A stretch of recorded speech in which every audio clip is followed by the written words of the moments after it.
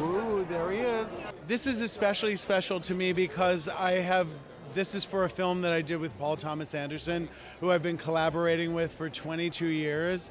Um, I designed Paul's first movie and have done all of his films Boogie Nights, Magnolia, There Will Be Blood, uh, Punch Drunk Love, all of them in the last 22 years. So to get an award for my work with Paul is very, very special to me. And also now Daniel's Day Lewis's fa- last film.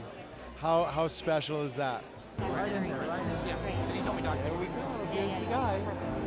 Well, uh, I mean, this is an incredible honor, and so I'm in- unbelievably happy. But I wanted to acknowledge that in this moment of happiness and winning this award, there are real world stakes, and there is a human life at stake, and there are clean athletes who have been cheated, and there is a, a, Russian government that continues to not deny all facts and all proof while they hunt the man who literally brought this information forward.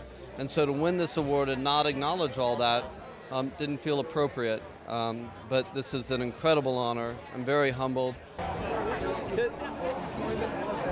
Well, uh, the fact of the matter is, uh, collaborating with immense talent like Chris Nolan and Lee Smith, our picture editor, and Emma, our producer, it floors me every day that I get that opportunity. So I am humbled by the fact that they want to give us an award for that, for that wonderful opportunity that so few people have. I'm absolutely tickled. Find your voice, maybe.